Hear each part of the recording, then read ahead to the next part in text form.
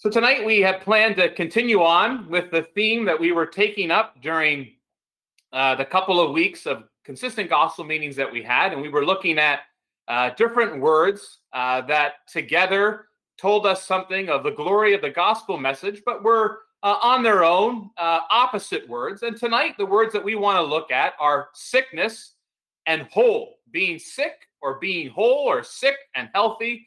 Um, words that are very prevalent today, especially amidst the pandemic. How many individuals can't go back to work, can't leave their house, can't do things because either they have a sickness or they have been restored to health or to being whole. So we're going to read a verse tonight, very famous verse. It's found in the Gospel of Luke, Luke chapter 5 and verse 31. Luke 5 and verse 31. I'm going to read one verse, but I'm going to reference some other verses and some other thoughts that are connected with this Gospel of Luke. Luke 5 and verse 31, these are the words of the Lord Jesus. And Jesus answering said unto them, They that are whole need not a physician, but they that are sick. I came not to call the righteous, but sinners to repentance. They that are whole don't need a physician, but sick people do. That's what he's saying here. Sick people need a doctor. We all know that. We agree with this statement. Sick people need doctors, healthy people don't. But then what he says next is really what is in a major disagreement amongst a lot of people. As he says this, I came not to call good people, righteous people, but sinners to repentance. What he's saying is here is he says if, if you don't have problems, you don't need Christ. If you don't have sins, you don't need Christ. Christ came for people who had the sickness of sin, which the Bible tells us everyone has, but not everyone wants to admit to it because of their pride. So that's our verse for tonight. And that's what I hope to speak on in the gospel meeting tonight. A uh, very unique book, the book of Luke, tells us all that we could want to know about medicine and doctors because Luke himself is one of the few, if only mentioned, doctors in the whole Bible. Not a lot of doctors make their way onto the pages of scripture in our Bible. Um, actually, it's very unique in the Bible. There's still a lot of things said about doctors that are still true today. Um, there's there's podiatrists in the Bible. There's a king named Asa, and and in Second Chronicle, he he doesn't consort he doesn't consult God, but he looks for a doctor for a problem he had with his foot. And so we often talk about podiatrists and whether or not they're real doctors. Well, they were real doctors in the Bible. And uh, the oldest book of the Bible, Job, Job says, he goes, You coat the truth with lies. You're nothing better than bad doctors. And we say, Oh, that's that's just how it is today, too. Doctors, they they don't tell us the truth. They kind of sugarcoat it sometimes. And uh, Job said that thousands and thousands of years ago, and still true today. And in the Gospels, the Lord Jesus talk, tells us about a woman who spent everything she had on doctors. And how many of us have been so pleased with medical uh, advancements until we get that bill in the mail and you realize, how in the world did that surgery cost me $72,000? You say, spent all that we had on doctors. And so, what was true thousands of years ago, still true today when it comes to comes to what the Bible tells us about doctors and what we know today. But what is significant is that almost 25% of the New Testament was written by a doctor. This man, Luke, he wrote the Gospel of Luke and he wrote the book of Acts. And, and he saw all these diseases and he talked about them as he wrote about the Lord Jesus, confronting people who had problems with uh, their eyes, problems with their ears, problems with their mouths, problems with their hands, people who were paralyzed, people who uh, had issues. Uh, you would say uh, they needed an endocrinologist. They had blood issues, and and so Luke saw all these issues. Luke dealt with uh, pregnancy problems that he talked about in the Bible, and he he so he had all this medical background. But as a major contributor to the New Testament, you know what he gave the most precedent to was the problem of sin. As a physician, he addressed so succinctly. He said, "This is the major problem." We used to have these old hymn books and on the front of the hymn book, it used to say, Life is a vapor. That's from the book of James. And then it said this death is sure. That's that's from the book of Romans. And it said this sin is the cause, Christ is the cure. Life is a vapor, death is sure. Sin is the cause of death. Christ is the cure of sin.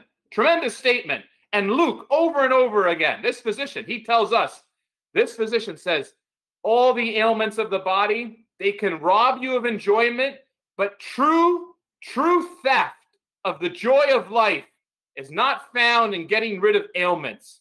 It's in not addressing the sin of the soul. Addressing the sin of this soul is what will lead me to the joy of life and to the joy of everlasting life. And so this physician tells me that. Not only that, it's Luke who records some of the famous first words of the Lord Jesus Christ. The Lord Jesus, one day in Nazareth, he stood up.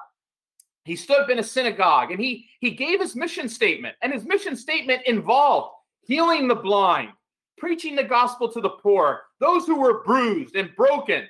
And, and his mission statement went out to those who had difficulties in this body. But his mission statement was to do something in the power of God that would last beyond this life. And it's very unique. Luke only records these words of the Lord Jesus. Luke says this the Lord Jesus looked on everybody that he was speaking to, and he said this You will say to me, Physician, heal yourself. It's the only time we have that proverb recorded. So Luke, the physician, tells us this very famous proverb about the Lord Jesus. We still kind of use that today. We don't like taking advice from people who have the same problems we have. You're probably don't want your dentist to have a lot of cavities. You don't want your, you know, you, you don't want your trainer at the gym to be grossly overweight. You don't want to, to, to go to someone who has the same ailment who's going to take care of you. Physician, heal yourself. You almost want to tell people, deal with your problems before you deal with mine. And the Lord Jesus said, You will say that to me. But was what was so unique about Jesus Christ is that he didn't have this problem of sin. He never had this issue. He didn't have it in his mind. He didn't have it in his actions. He didn't have it in his words. He was sinless. And so when he said that, people did not recognize that here was a doctor who did not have their ailment, did not have their problem. How fantastic to know that there was a man who walked this globe who did not have the problem that has been greater than any pandemic known to man and has been around since day since the beginning of time. This problem of sin that brings everyone under its control. And here christ says you're looking at a man who does not have the problem and therefore i am the man who can deliver you from that. And then we read the words here of the lord jesus christ and he says they that are whole do not need a doctor. Thank goodness. Thank goodness the lord jesus could state truth like that we look at people and how much we appreciate our health today, how much we appreciate health and well being. And we say, so good to have your health. In fact, uh, we have people who come over and they say, we, we long that you have the health to enjoy your marriage, the health to enjoy your family, the health to enjoy it. How precious it is and how fleeting it is. But how wonderful to know when you're whole, the last thing on your mind is a doctor. But then the Lord Jesus says, No, you know who needs doctors are people who are sick. But how many of us know people and they won't seek medical attention? They just won't go in. They won't, they won't, they're they're skeptical. They they they, they think it's a scam. They they won't address doctors or physicians or specialists because they don't want the help. And they always say, well, the first thing is admitting you have a problem in order to seeking counsel. And the Lord Jesus says, only sick people need doctors. And every one of us tonight would say, Amen. That's true. But then the Lord Jesus, he adds another statement directly connected to this. And he says, I didn't come for good people. I came for bad people. I came for sinners. It's hard to hear those words and still think that I'm going to achieve heaven based upon my own goodness and my own good works. Because that's not who Christ came for. That's not who he came into the world to save. He came to save sinners, he came to save the ungodly. He died for the ungodly. So, how significant when we look at it here that here's a physician Here's one, and he states the case as it could be. His diagnosis is spot on. There is no need for a second opinion. He is the one who made the human frame, he designed it from head to toe. He knows the DNA strands, we would say, like the back of his hand. He knows the way the chromosomes have come together. He has counted the hairs on your head. He knows your stature. He knows your number of days. He knows all these things. And so his his diagnosis of the problem is I is as accurate as could be. And yet, so many of us are so afraid to listen to this diagnosis that we have sinned and we've fallen short. We need someone who does not have our problem. And we're asking ourselves, what is the remedy? How many times a day must I take something? How often must I do it? How much physical therapy will be involved? How many times must I go to the hospital? Will I need outpatient services? Will it involve things like we want to know what do we need to do to get rid of this ailment? And Jesus Christ said this it is the most costly of all diagnosis. This, this diagnosis requires a remedy. I've heard of individuals. In fact, I have family members and they they've had individuals they told me about that to get the necessary pills. I don't even think it was more than one, it was a couple, would have cost them a couple of million dollars and they were fundraising to meet the 2 million dollar marker. I can think of my own life going to to the CVS and, and wondering how much it would cost without insurance and realizing I couldn't afford the prescription without insurance and realizing the tremendous cost there is in just getting medicine. And then recognizing for this the most tremendous of problems what it will cost in order to get healing for my sin. It costs someone everything when it costs Christ his life. It's tremendous. That if only I would let down my pride, if only I was willing to admit a problem, because the Bible tells me if I knew how bad the problem was, we said that we know that the wages of sin is death. It will lead me one day to that end point. But to know that God offers, He only offers the diagnosis free. He offers, He offers the medicine, He offers the remedy free. He offers it. And, and, it's not something that has to be waited in line. I think of a the next couple of months, how much would be paid for these vaccines for the COVID virus? And and how many of us would just breathe a sigh of relief to know that we had something that then would equip us to fight this, or that we could then once again leave and go beyond the bounds of our towns and our homes with some safety? The cost is immeasurable. The US is investing billions upon billions of dollars to provide this assurance to its citizens. And yet, God has invested his son, the death of his son, to give you the ultimate assurance that when you depart this life, you will be absolutely sure that you will not depart this life with sin within you, but instead with Christ within you. How tremendous. How tremendous to know that.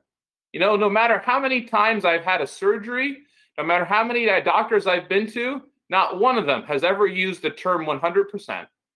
I had a doctor recently tell me 96% success rate. He says, because I have to tell you that because there are still a lot of people who fall into the 4% category. Let me tell you tonight that the man who said these words, they that are whole don't need a doctor, but they that are sick. I came not to call the righteous, but sinners to repentance. He offers a remedy that is guaranteed to heal. Doesn't matter who you are, doesn't matter what you've done. Doesn't matter how long you've had the ailment or how great it is. Sometimes cancer is caught too far. It's it's it's gone. It's run too rampant in the body. When people say it's I, if I had only got it earlier, if I had gotten checked earlier, then maybe I could have done something. Doesn't matter. Christ offers something that is guaranteed. He never speaks in any other terms but 100% because he gave himself. He gave his sinless life for sinners. And so, from the words of the great physician to the words of individuals who, if they could just get rid of the pride that comes up within every heart, as we look at a world that runs rampant with us doing our own things and us seeking our own remedies, we must recognize that here is one who knows us. He knows us so well. And he knows everything that ails us, and he knows everything that has gone wrong with us. And because of that, he didn't depend on any other medicine. He didn't depend on any other approach than to give himself as a sacrifice in order to save your soul. You could believe that. You know, it's not like a placebo. Sometimes people tell me if you believe enough in the pill you take, sometimes psychologically it just helps. You know, the amount of your belief doesn't save you. Christ saves you. Doesn't matter. This is not a placebo effect. It's not done just to give you a good feeling inside. This is something that really works. This is something that is so true and so needed because there is no other way for you to be made right with God. There is no other way for you to rid your soul of the sin that it has other than Jesus Christ, Him crucified. Thank God He's alive. And thank God He still longs to seek and to save those that are sick, those that are sinners. If only you would trust Him tonight. Continue to listen as Matt tells us about being whole and how Christ guarantees that. Thank you, Dave. Uh, we're going to read just a uh, verse here in the book of, uh, I was going to read Luke 5 and 31 and 32. Dave read that today, but Uh, First Thessalonians chapter 5, I'm going to read a statement. And the statement says this The God of peace, First Thessalonians 5, look at verse 23 through 24. The God of peace sanctify you wholly. Interesting, as he continues to write, he says, And I pray God, your whole spirit and soul and body be preserved blameless unto the coming of our Lord Jesus Christ. The key is in verse 24 that says, uh, This blameless is because faithful is he that calls you, who also will do it. Now we're going to take up that word whole. It's actually found 242 times in scripture. When we think of what it means to be whole, we can start right at the beginning of our Bible. And we just see that in Genesis chapter 2, you would see this that the mist watering the whole face of the ground it means not a spot left without mist. You jump to Genesis chapter 7, you'd see that waters prevailing exceedingly upon the earth and all the high hills that were under the whole heaven. The same word is used there, were covered. In Genesis chapter 8, there's a dove that's flying, trying to find footing, and it says, The dove finding no place for her foot means that the waters on the face of the whole earth. I'm telling you this because uh, this is key when we look at a word in scripture, where it is found and the depth and the capacity of the earth, uh, uh of that word. Genesis 11 says the whole earth was of one language and one speech. That word whole means all or total or containing the total amount or a number or the entire thing, like the whole earth or the whole world or the whole solar system or the whole army or the whole nation. Now, perhaps a problem today, if you hear it as well as I do, is uh, we make inaccurate assumptive statements like this that whole party is like this, or that whole church is like this, or that whole race is like this. And they're inaccurate statements. When it comes to the Bible, when God says, for all have sinned, it's an accurate statement. It means the whole of humanity has sinned, complete humanity, entire humanity. That's what this word whole means. Whole. Dave said those words that they that are whole in Luke chapter 5, they that are whole need not a physician.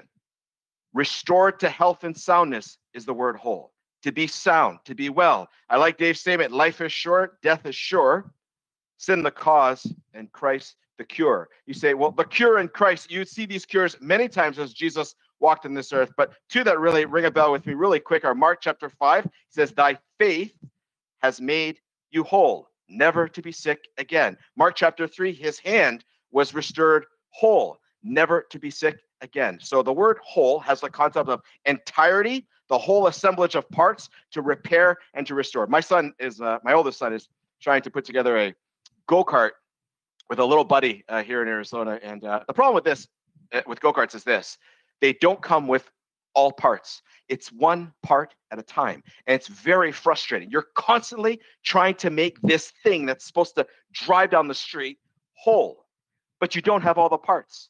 And it reminds me of humanity. The soul without Christ is like a vehicle without the parts, it's broken. It can't do what it's intended to do. God wants men to worship. And we can't worship without knowing Christ. We can't worship without knowing the Godhead. We can't worship without our sins forgiven. We need to be reconciled with the Maker. And in this particular example, as it were, we need to be reconciled. There needs to be an order done that all the parts of that car come together and it can actually function. And the part that's missing in your life, if you don't know Christ, is this you've never come to understand that Jesus Christ died for you on the cross and he rose again and he's seated at the very right hand of the majesty on, on high. And by believing in him, by trusting in him, by having faith in him, you can know for sure your sins are forgiven. Think of the story in Luke chapter 17. He says unto them, He says, Arise, go your way, your faith has made you whole. Well, in this story, there's 10 lepers who are sick, 10 lepers who have a tremendous problem. They're cleansed but only one returns to thank Christ. That one, he says, was made whole, not only physically cleansed of leprosy, but also salvation of his soul. The Greek Testament of critical exegetical uh, commentary says this in a higher sense than the mere cleansing of his leprosy, theirs was merely the beholding of the brazen serpent with outward eyes, these other lepers. But his, the leper that comes back to see Christ with the eye of inward faith, faith saves him, not only healing his body, but of his soul. And God today wants to make the sinner who is sick and broken whole again. There are many families, if you reflect even self reflection on perhaps your own family or friends that you have, and you look around and you say, Yeah, you're right. Friends, uh, families today are not whole, they're broken. Sin has broken relationships in a variety of capacities. And God wants to reconcile the sick, those that are in their sins, to himself and make them whole. Google just announced a new uh, underwater internet cable. Fascinating to me because I don't know much about engineering, but I do know this. It connects the US to the UK and to Spain. Hundreds of millions of dollars spent, thousands of miles. This cable, this fiber optic cable, is going to go under the sea, under the ocean. And the cable is called the Grace, G R A C E, Hopper. The Grace Hopper. They say it's the largest communicatory connection ever. And I sat back as I read this article, which was absolutely fascinating. I thought, the largest communicatory connection ever? Not really. God's communicatory connection, his, if I could use the word respectfully, grace hopper, the one who brought grace to mankind, came from heaven and he came to earth, born in a manger. He went to a cross death. He's been bringing men and women together, united in the body of Christ, the blood of Christ. Men and women filled with diversity from all parts of the world, all parts of different languages, different tongues, different ethnicities, different cultural backgrounds, and he brings them all together at one place, and it's found at a cross. I love what Priscilla Owens and William Kirkpatrick in 1882 wrote uh, Give the winds, listen to these words of this beautiful hymn. Give the winds a mighty voice. Jesus saves, Jesus saves. Let the nations now rejoice. Jesus saves, Jesus saves. Shout salvation, full and free, highest hills and deepest caves. This our song of victory. Jesus saves, Jesus saves. Not the pastor saves, or not the church saves, or not the particular denomination saves. As Dave mentioned, Christ saves. And that's found in the word of God. When someone is saved, you see that truth in First Thessalonians 5 that the very God of peace sanctifies you wholly, whole spirit, soul, and body are preserved. I love what Psalm 103 says Praise the Lord, O my soul, with all that is within me. You say, well, why is he praising his name? Well, here's what he keeps writing Do not forget all his kind deeds. He is the one who forgives all your sins, who heals all your diseases, or the word there is deadly in Greek, who delivers or redeems, again in Greek, your life from the pit, who crowns you with his loyal love and compassion, who satisfies your life with good things so your youth is renewed like an eagle's. Out of their bellies, God's word says, will flow rivers of living water when one comes to trust in Christ. God today wants to supernaturally, radically, profoundly, something we don't understand, and eternally change your life. Once dead, now alive. Once lost, now found. Once blind, now can see. Once in the family of sin, now in the family of God. Once enslaved by sin, now freed by sin's bondage. Once in despair, now you have eternal life. And once sick, as Dave spoke about being sick, now whole. Sick from what? Death and sin. Condemned already. I'm just speaking today, friend, what the word of God teaches. Unjust, unholy, unrighteous per God's standards of perfection. The plague of being born into sin and its progressive, negative, destructive lifestyle. That's what we're sick from. The scars of sin, the burdens of sin, the regrets of sin, without strength to help ourselves, desperately needing to be reconciled a huge gap between God and man without all the parts, as it were, to make us whole and complete in Christ. We could be made complete how? Simply because of Christ's death on the cross. Bloodshed that satisfied a Godhead. Hebrews 9 and verse 22 says these words Indeed, according to the law, almost everything was purified with blood, and without the shedding of blood, there is no forgiveness. We crave to be whole because human beings were made for it. John 10 and 10 says, The thief comes only to steal and to kill and to destroy. I am come, Christ says, that they might have life and that they might have it more abundantly. The enemy has robbed man of self worth. The enemy has robbed man of respect. The enemy has robbed man of relationships or true relationships. The enemy has robbed man of peace. The enemy has robbed man of hope. The enemy has robbed man of true love. Christ came, though, to give whole life. Christ came to give life more abundantly. Changing the psychological of, of the mind, if you can even use those words, the change of mindset to seek things that are above. Physically, you change your life. In your testimony, in the as being the salt of the earth, noticing a change of heart and desire as the world looks to someone who was in their sins at one point and now saved. They've been born again, they've been born anew, born from above, and they're different. They watch them different. They watch them behave differently. They watch their walk spiritually as they have a hunger for the word of God. The Holy Spirit is now within. They have new life. They've been made whole. Whole. You can be made whole today. To have that purpose, to worship God. We think, when we think of whole, when it comes to the body, uh, uh sorry, the gospel, just think of this here for a second. I get it as crystal clear as I can. The whole of man sinned, not part of man, all of man. The whole of man fell short of the glory of God, not part of man, the whole man. The whole of man disobeyed and broke the law. The whole of man can't get to heaven with their own works. Now let's go to what Christ did. The whole of Godhead loves sinners. The whole of Godhead provided a substitutionary sacrifice for sinners. The whole of Christ, not part of Christ, not just his hands, not just the crown that was placed upon his brow, but the whole of Christ, from the top to the bottom, was sinless and just. The whole of Christ shed blood. He died on a cross for sinners. The whole of Christ rose again.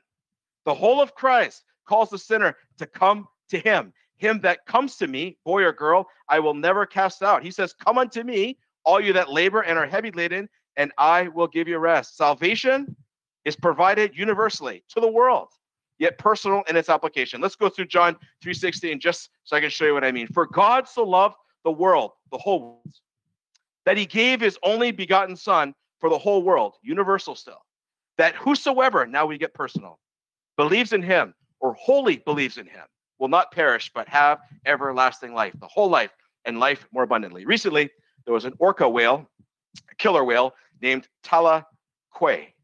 The story was that she carried her dead 300 pound whale child for over a thousand miles for 17 days. It was such an extreme that it prompted a worldwide concern for the grief stricken mom, given their already endangered population. They're endangered, and she's traveling carrying another 300 pounds of weight that is another dead whale and it's her child. Grief stricken. I've spoken to many on uh, losing a child, an incredible loss. Parents have told me never to be the same again parents' worst nightmare sometimes waking up 30 years down the road and uh, the vision of the and the and the, the the the place of the casket of their child is so vivid. It's there. They've never forgotten it. Some have told me I still wake up, and it's still a nightmare to me. I've lost my child. I'll never forget it. You say more love than that? More love than a parent's love for their child? What was it like for eternity past for God the Father to have a plan to give his only son for a fallen race? knowing to that he would in time watch man in their wickedness in the Old Testament, knowing a Savior was coming. They reject him in his life. He watches Peter deny him at a cross. He watches human beings who Christ was coming to seek and to save the lost. Was coming to die for them. And those human beings say, Crucify him. And the Father is watching people make fun of his son and hurt his son. He watches people spit on his son. He watches people open his back like a plowed field and lash at his back. He watches human beings place a crown of thorns on his son and they mock him. He watches human beings nail his hands and nail his feet into a wood. And they raise him between heaven and earth. And they sing in their drunken mockeries of his son. If you're the Christ, save yourself and come down. And they crucify Christ in violence and hatred. What was it for God to look down upon a race like that? It was love for you, and it was love for me. He loved his son. He gave his son just for you. The hymn writer wrote, What was it, O our God, let thee to give thy son, to yield thy well beloved for us by sin undone? 'Twas love, unbounded, led thee thus to give thy well beloved for us. God didn't give part of his son, he gave his whole son to pay for your whole debt of sin. And God promises through John chapter 3 and verse 36 he or she that believes on the Son has everlasting life. If you don't have the new birth, if you've never been born again, if you've never been saved, you'll always struggle in your sin, sickness to be whole. Very interesting if you look at the recent study, it's a documentary on called The Weight of Gold. It's on a documentary on Olympic athletes and really the heartbreaking mental health challenges as the society looks on and, and envies and uh, we sort of covet their lifestyle. We say, boy, if I could just be like the Mr. Phelps, or if I could just be, but there's actually some heartbreaking things that are truths here. This documentary states they they feel they're never good enough. They're never fast enough. They're never strong enough. And they go through uh, sad times and discouraging times and depression times. Listen to this. To know you're enough, to know you're complete, to know you're whole in the person of Christ who's always making intercession just for you, the one who's keeping your eternal relationship and home in heaven secure, never to be broken through his precious blood on an old rugged cross, to have that peace, to have that hope, to have that invitation by the Christ. Come unto me, all you that labor and are heavy laden, and I will give you rest. What does Jesus say? The Son of Man has come to seek and to save that which was lost. Are you lost? Burdened about your sin. You know that you're sick in your sin. You'd love to be made whole. There's only one place that the making of whole comes into fruition, and that's found on an old rugged cross. And Christ says, Come unto me, all you that labor and are heavy laden, and I will give you rest. I close with Dave's statement. He said these words Life is short, death is sure, sin the cause, and Christ the cure. If you're sick in your sins, you can come to know Christ today and be made whole for the very first time in your life. Sins forgiven, past, present, and future, and a home in heaven. Why? Because Christ is the cure and he will make you whole today.